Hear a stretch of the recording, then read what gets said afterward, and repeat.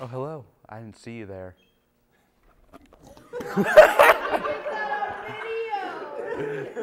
on November the 9th, Trump was elected president.